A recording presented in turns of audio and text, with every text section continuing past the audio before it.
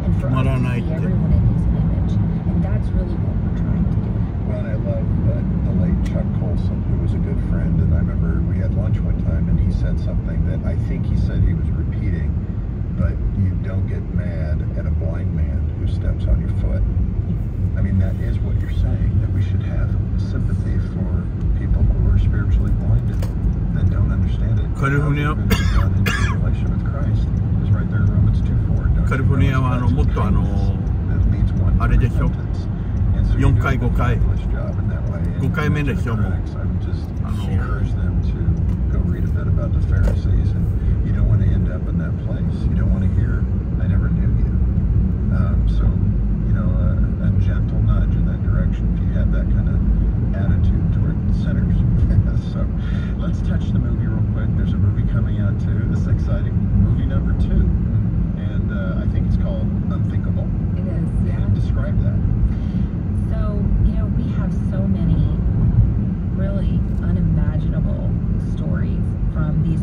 abortion clinic workers.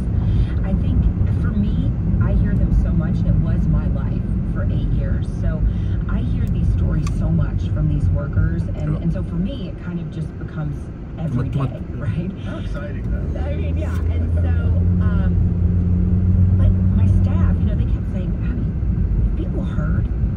私はああいああいうのはさあの U ターンするあれ止まる場所真ん中ないでし It would be hard for them to Yeah. believe. ょ余裕見て U ターンした方 The がいい world needs to hear the reality of the abortion industry.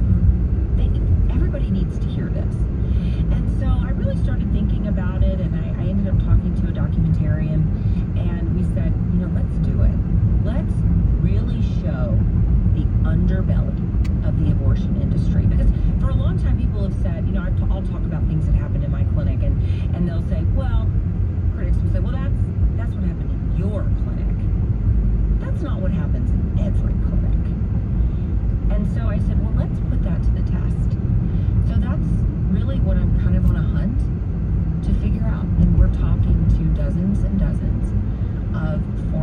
abortion clinic workers, former abortion clinic doctors, nurses, medical assistants, um, people, you know, former workers that run the gamut.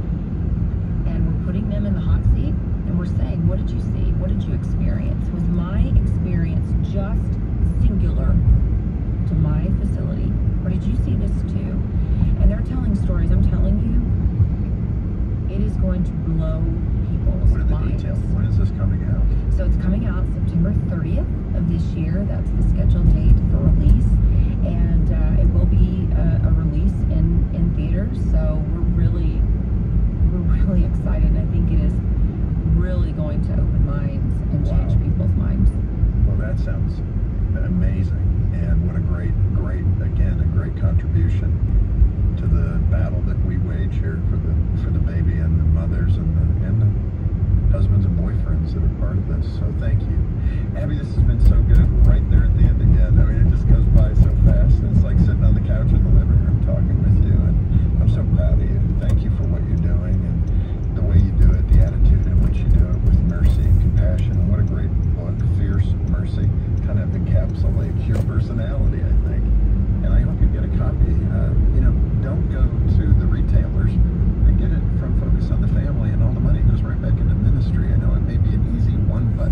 ついでにお父さんの背中のさあれあのやってもらえるように頼んだらさいいかね？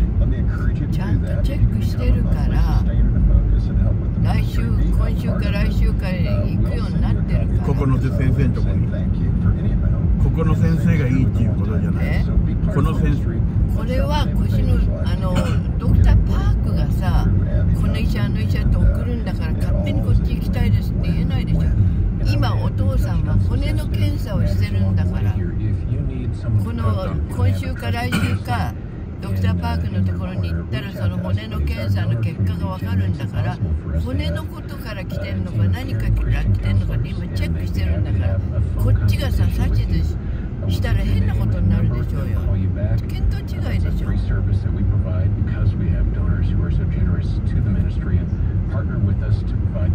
自分が.勝手に行くんだったら医者なんか必要ないじゃん Word family or find details about the book and 翔一郎の診断とお父さんの診断違うんだから ministry all Ah. at focusonthefamily.com slash broadcast. And John, let me add uh, a little more precision to that idea of the sustainer. We're looking for a thousand people to join us to help us. 小中央の腰の痛さはリュウマチから来てリュウマチ系の痛さなんだ骨じゃないんだお父さんの骨骨が弱いからそれのチェックしてるわけ今レントゲンも取って CT スキャンも取っただってあの私が叩いた時にあ,のあれでしょあのひびが入ってそれをそんなのは昔の話でしょ人間の骨とか体っていうのは自分のあれが力で修復するんだから。て脆くなってるから。脆くなってるのは食べ物でしょ？だからそのそこのところにやったところが脆くなってまた痛くなってバカじゃないの？物を食べるでしょ？人間はどんなものでも。人間の体っていうのは自然治癒力があるんだから修復していくの自然に。年を取って修復するって聞いたことないけどね。なってるでしょうよ Focus on the Family. 私だってそうでしょ When you get in touch, let us know. ただそれが早いか遅いかの問題あと食べ物によるでしょ今薬も取ってるんだからビタミンも As we once again help you and your family お thrive. かしいね もっと勉強しなさいつまんない YouTube 見てるんじゃなくて Glenda loves listening to Focus on the Family for her daily dose of godly encouragement.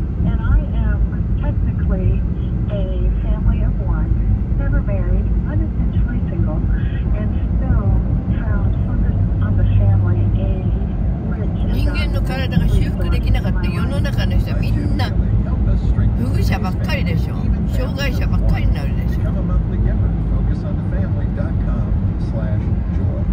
Focus on the Family,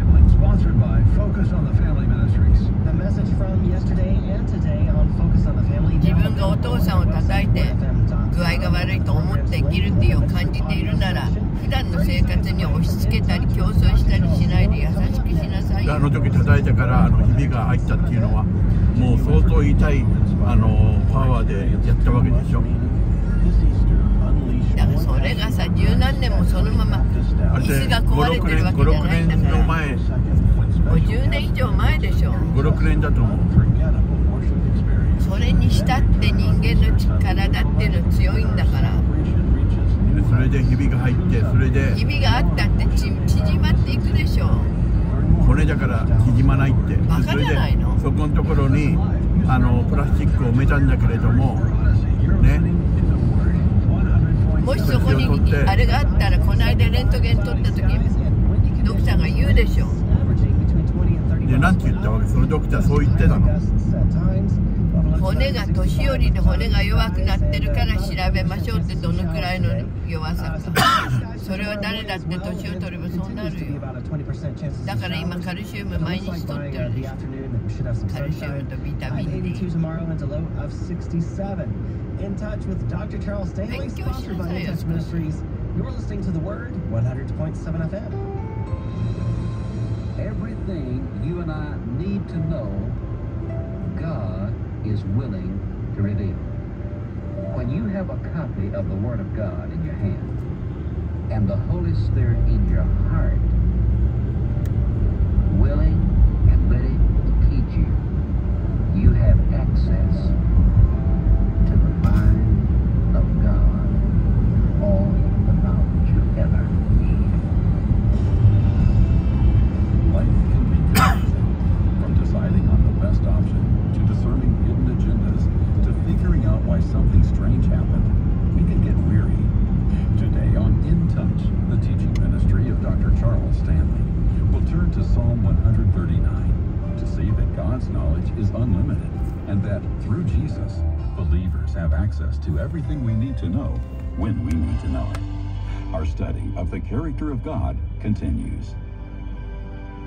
Now, when you talk about the attributes of God to some people, they say, well, what is that?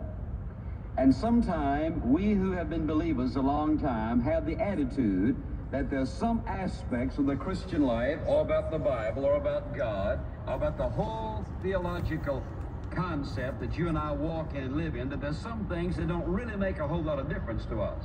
So we want to categorize these over here and say, well, some things are important and some things not important. And so uh, we just going to shove aside the things that are not important. And what I need to know about God is what I want to know. so I want to talk about three aspects of that. And the first one is the character of his omniscience. When we say that God knows everything, well, you'll notice in these first few verses what he says. O Lord, thou hast searched me and known me. Thou knowest my down sittings and mine uprising. Thou knowest my thoughts and how far off. Thou compassest my path, my lying down. Thou art acquainted with all my ways, for there is not a word in my tongue. But lo, O Lord, thou knowest it altogether. Now, when we talk about the all-knowing God, what does he know?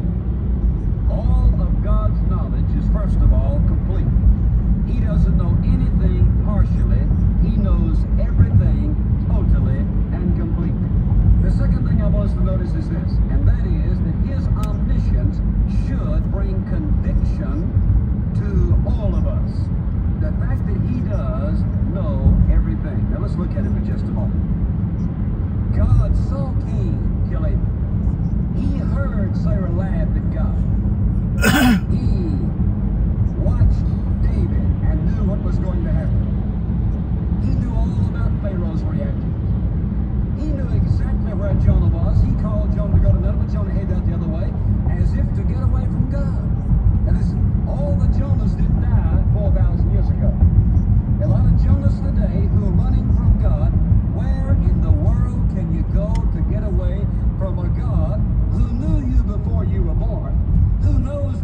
spend eternity, who already knows how you're going to respond to this particular situation. There is no escape. He says, as we said before, Thou hast set our iniquities before thee, our secret sins in the light of thy countenance. He knows all about them. Now, because he does, when you and I come to confess them to him, when we come to confess them to him, listen, we are not giving out knowledge of something he doesn't know. What we're doing is revealing the fact and expressing our regret and asking for his forgiveness. We are expressing something from our heart to him. We are not giving information. We are submitting ourselves to his sovereign rule and control in our heart. But the third aspect of his omniscience that I want to dwell on, this is the most important part, I believe, and that is the fact, the fact that God is omniscient is one of the most comforting thoughts to be found anywhere in the Word of God. The fact that God knows all about us. Now, let's go back to uh, Psalm 139 now, and back, if you will, to uh, verse 15 and 16. He says, My son was not hid from thee when I was made in secret and curiously wrought in the lower parts of the earth. Thine eyes did see my substance, yet being unperfect or incomplete. In the book all my members were written, which in continuance were fashioned, when as yet there was none of them. That is, even before you were born, every detail God already had done. There are no details unknown to God about us personally. And I think the way he said it in verse 15 and 16, he said it so beautifully. He said, even before we were born, God had the blueprint of our and every intricate detail, every cell of our body, our temperament, all of our emotional being was perfectly known to God. The second thing, he knows all of our needs. And when you think about uh, how many needs you and I have, and what our Lord knows about our needs, somebody says, well, if he knows all my needs before I ask, why should I ask him? Very simple. God wants us constantly focusing our attention upon him and absolutely and totally and eternally aware of the fact that he is the source of all of our needs and he's the source of all the good things that come our way.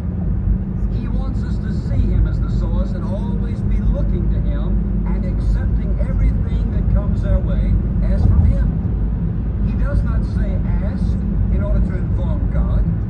He says ask and it shall be given you. And then he said, you have not because you ask not. Not because he doesn't know we need it. He doesn't refuse to answer our prayer because we didn't ask him and he didn't know about it. He refuses to answer our prayer for several reasons, sometimes in our life, sometimes in his plan, we're not ready to receive the answer. But more than likely, it's because we don't ask him, and it's not that he doesn't know, it's just that he's waiting until we a- acknowledge him as the sovereign, fathomless resource of everything we'll ever need. He's waiting on us. So that when we come to him in prayer, if you don't believe that God is omniscient, then your prayer is going to be very weak. And one of the wonderful things, likewise, in the area of our prayer life is this. Sometimes you and I come to him and we say, Lord, I don't feel anything. I talk to you, you don't say anything. Nothing is happening. God, why don't you say something? Don't you know that I'm down here? Don't you see where I am? He says in this passage that wherever you are, he knows. But look, if you will, this is a beautiful passage to me. And it happens several times in the scripture in Matthew chapter 14. You'll recall that uh, Jesus had been feeding the 5,000. He told his disciples to get in the ship and go across the sea. And then the Bible says in verse 23 in Matthew 14 that he went up a mountain apart to pray. When the evening was come, he was there alone. So it's pitch black dark. And so his apostles were out on the out on the sea as a storm came up. Here he is up in the mountains praying. And in the fourth watch of the night, Jesus went unto them walking on the sea. But now I want to tell you something. He didn't have a compass. He didn't have a big searchlight. And listen, the scripture says, and in the fourth watch of the night, Jesus went unto them walking on the sea. Now, had we been writing that about anybody else, we would have said, and Jesus went looking for them. It doesn't say that. Jesus went unto them. He went straight to them. Did you know that there's never a time in your life, in my life, when we can ever get in a place of distress, a heartache, a burden, a sorrow, that he does not know exactly how we feel. Now listen, have you ever been to bed at night, you cut the lights off, and you lay there, and you wept, and you wept, and you wept, and you wept, and you were all alone. Nobody knew you were crying, but just you. But God knew. He says, I'll never leave you nor forsake you. Sometime we just need to know that he knows. Maybe you've done your best as a student, and your best isn't good enough, and you're flunking your courses. And deep in your heart, you know that as best your heart knows the truth, you know you've done your best. Somebody understands. When you're falsely accused, verbally abused, everybody seems to be riding on your back and you don't know what to do next, is somebody who knows exactly how you feel. When your heart gets broken and it gets shattered, and it seems that nobody else in the whole world loves you, nobody cares. Somebody who knows, somebody who cares, somebody who loves you. Maybe you're single because you're a widow, because you've never married, because you're divorced. You look around the walls of that apartment or that house, and you think, God, I cannot stand this encompassing, enveloping, enclosing, vice-like loneliness that keeps moving in upon me. There's somebody who understands exactly how you feel. And when disaster comes and there is no word of consolation, they, people can say anything they want to say, but they'll say, I know how you feel, and you know in your heart, no, you don't know how I feel. You can always count on the fact that somebody does, and he's God. He always knows exactly how we feel. So I got to thinking about my own life. I thought, well, now, Lord, you knew my father would die when I was seven months of age. You knew what my mother would have to do. You knew all the things that I would feel growing up. You knew all of these things. And what have you done? Having known all of that, you were never behind, never surprised at anything I would do, anything that I would feel. You were always there to love me, direct me, assure me, help me, forgive me, overshadow me, undergird me, surround me, teach me all the things that I needed. You would always be there to work them out. Now listen, you see, back here when you were born, whatever kind of home you grew up in had a far lasting effect and more influence on your present life today than any of us would ever like to admit. That's where it all started. Our attitude about ourselves, our attitude about others, our attitude about God, our attitude about life, our whole perspective of things began back there. And because it did, God knows why we are where we are tonight, wherever that is. And so what does he do? He's always willing at any point with a loving, outreaching hand to help us through whatever difficulty we may be facing at the moment. And you see, you'll do some things you don't understand why you do them. You'll feel some things that you don't understand why you feel. You'll think things that you don't quite understand how it all fits together. He understands beautifully and perfectly what's happening because you see, he knows the end of our earthly life as well as the beginning. And he sees the whole picture in every age and every area of our life. And he knows why we respond the way we respond. No surprises to God. And so what does he do? He's always working in our life. Now listen, watch this. Some people would have enormous difficulty in their life. He could have changed all of that, but he didn't. Now, why didn't he change these things?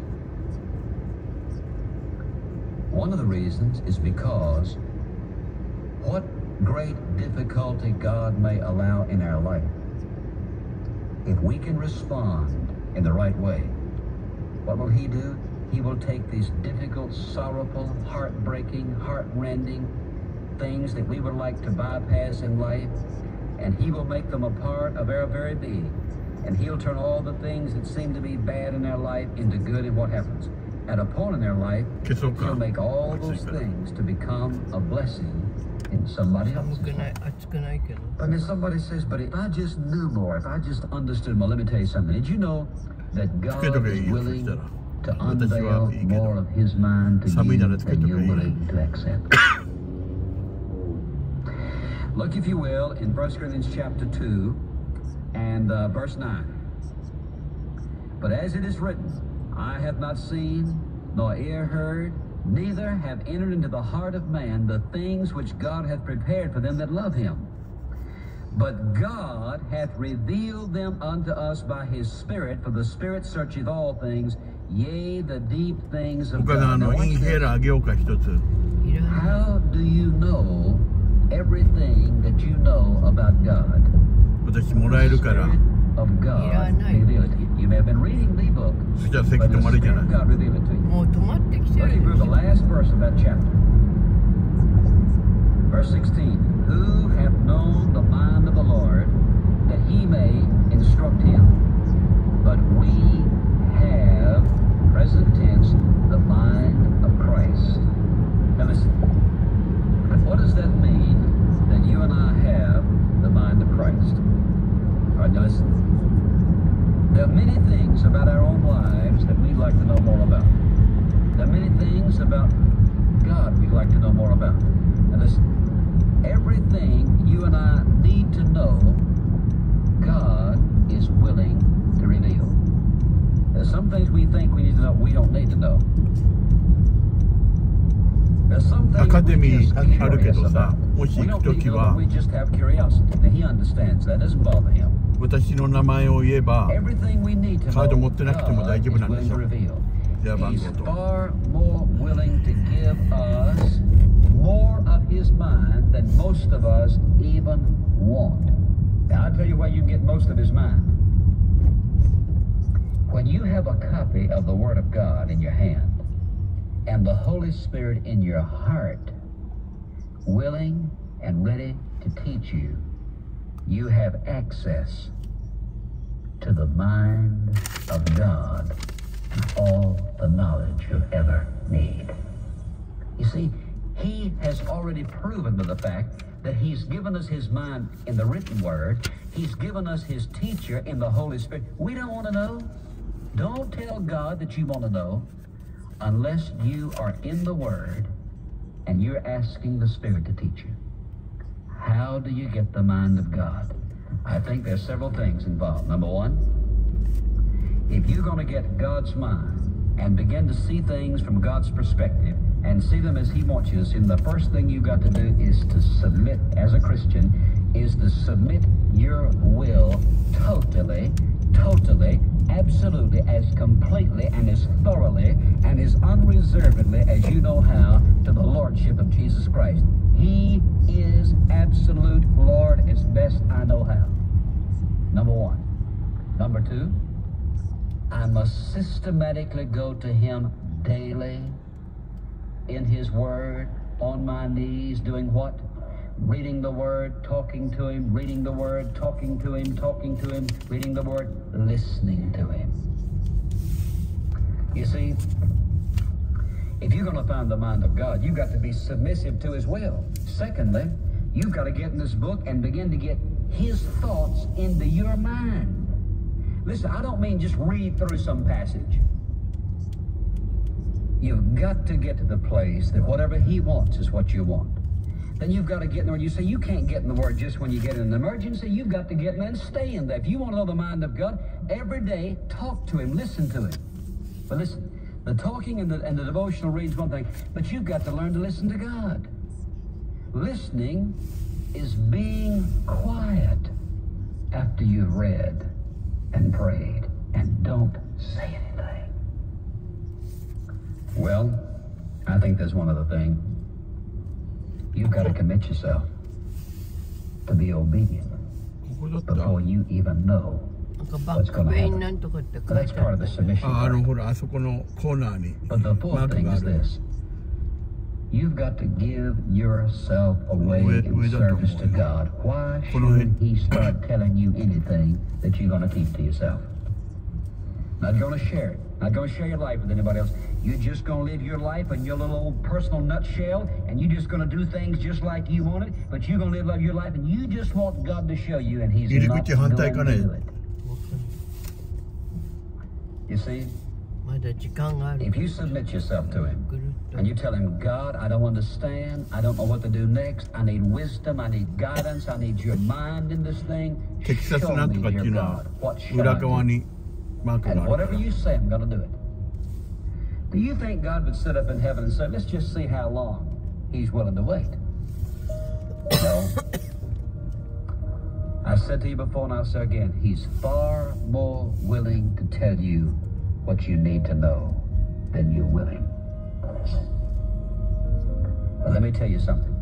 Can you tell me anything any more valuable in human life than to have the mind of God about anything? Thanks for joining us for In Touch the teaching ministry of Dr. Charles Stanley. God doesn't instruct us just so he can give us information. He intends for us to follow through and do what he asks. If you need help knowing what God wants you to do, visit intouch.org and search our free resources that can help you understand and apply the Bible to your everyday life. And to review what you heard today, click the Today on Radio link on our homepage. Navigate to our online bookstore if you'd like to order a copy of today's complete message, The God Who Knows All. It's also included in our teaching set, The Character of God. Again, log on to intouch.org or call 1 800 In Touch.